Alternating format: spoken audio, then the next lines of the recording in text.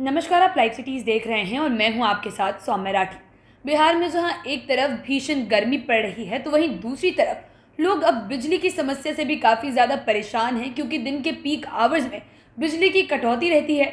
जहाँ शहरों की बात करें तो अगर पाँच पाँच घंटे तक यहाँ बिजली नहीं होती तो गाँव में स्थिति और ज़्यादा खराब है, क्योंकि वहाँ पर दिन के दस से बारह घंटों तक बिजली गोल रहती है।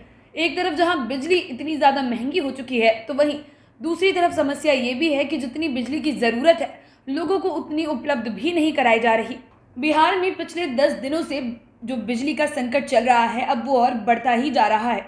हाल अब ये हो चुका है कि बाज़ार में महँगी बिजली खरीदने की बिहार की कोशिश भी सफल नहीं हो पा रही। गुरुवार की शाम को बिहार ने 2000 मेगावाट बिजली खरीदने की कोशिश की, लेकिन उसे महज 9 मेगावाट बिजली से संतोष करना पड़ा है। तो इससे आप अंदाज़ा लगा सकते हैं कि बिजली की कितनी ज़्यादा कमी है। हालाँकि राज्य सरकार ने दो दिनों में ये भरोसा दिलाया है कि अगले दो दिनों में बिजली का जो संकट है उसे दूर कर दिया जाएगा। संकट का हाल ये है कि शहर में जहाँ पाँच घंटे तक बिजली नहीं होती तो वहीं गाँव में दस से बारह घंटे तक ये गोल हो जाती है। कुछ क्षेत्रों में तो बारह बारह घंटे तक बिजली के दर्शन भी नहीं होते। पूरे बिहार में उपलब्धता के आधार पर रोटेशन करके फ़िलहाल बिजली दी जा रही है। गाँव में अधिक कटौती होती है। पीक आवर में बिजली ना रहने से लोगों को काफ़ी ज़्यादा परेशानी भी हो रही है। बाढ़, फरकक्का, कहलगांव, बरौनी और दरली पाली बिजली घरों से बिहार के बिजली की आपूर्ति ठप है। उधर देश के एक चौथाई पावर प्लांट बंद होने की वजह से 16 ऐसे राज्य हैं जहाँ पर 10-10 घंटे तक बिजली ना रहने की समस्या रहती है।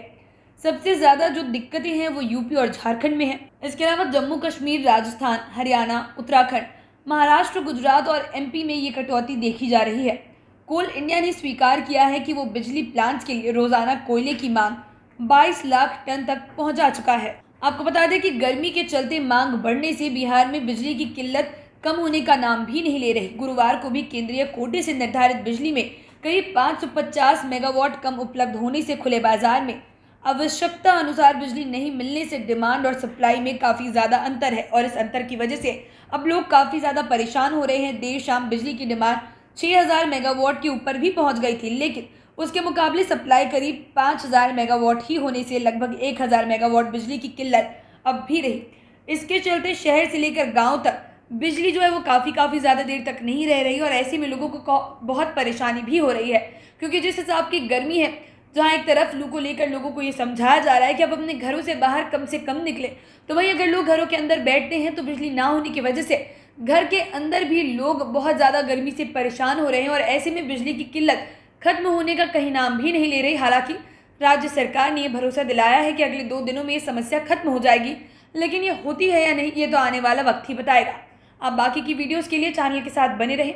अगर इस वीडियो को फेसबुक पर देख रहे हैं तो पेज को लाइक करें। यूट्यूब पर देख रहे हैं तो चैनल को सब्सक्राइब करें लाइव सिटीज़ के साथ आप ट्विटर पर जुड़ सकते हैं। धन्यवाद।